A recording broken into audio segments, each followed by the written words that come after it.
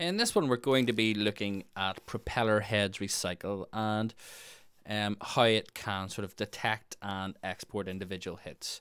Um, and if you don't have recycle, the, the tutorial after this, we're going to be looking at how you can do a similar thing in Ableton, although it is a bit more long-winded.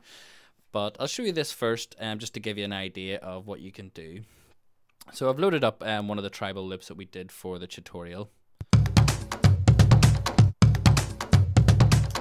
That'll be included in your resources pack. And what we want um, to do is for Recycle detect the, the individual hits and then export them all into one folder. So you can imagine if you're, um, you know, you've got a sample CD of loops and you want to cut all those individual hits out and save them to load into the, the drum rack or into Impulse. Um, Recycle is a great way to do that.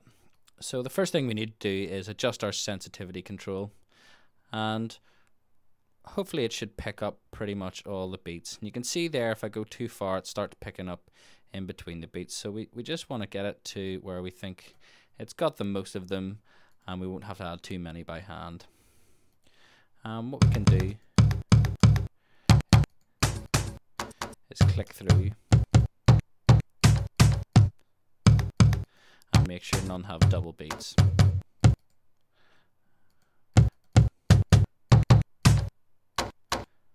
Okay, so there's a couple there that do. That one there and that one there. And we can just get our pencil tool and draw them in manually. Depending on how sort of slushy the loop is and how well defined the, the attack points on the drum hits are, um, will depend how well Recycle will be able to pick them up. So sometimes you have to sort of draw more hits in than you would like, and it can be a bit time consuming, but nine times out of ten, it's pretty good for just automatically picking them out.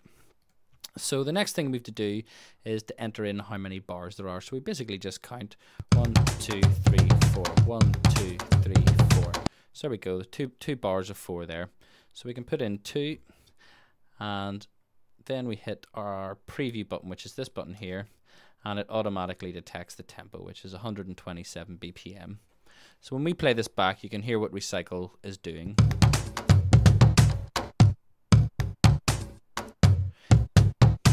It's basically separating all these individual drum hits into uh, individual bits.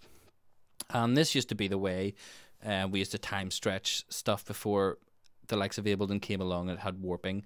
If you wanted to sort of change the, the tempo of a loop, you would throw it into Recycle and then save it out as a Rex file, and then you could use it in Cubase or one of the other programs at any tempo. So we're not really using it for that anymore, but what we can do is get each of these individual beats and expect export them. So once we got it all analyzed, we can just hit File, Export, and we'll pick a a folder, tribal samples.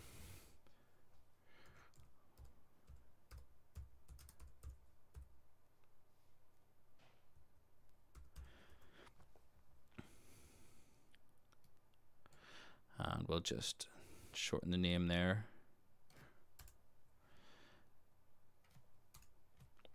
And hit save.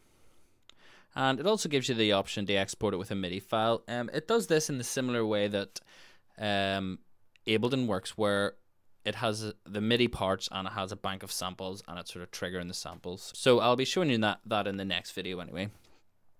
So I'll export this. And now if we go to our desktop, look on our tribal samples and our recycle export, We've got all these hits individually.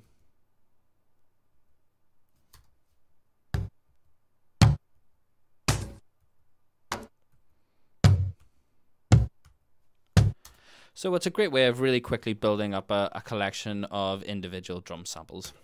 In the next tutorial, I'll be showing you how you can do something similar in Ableton.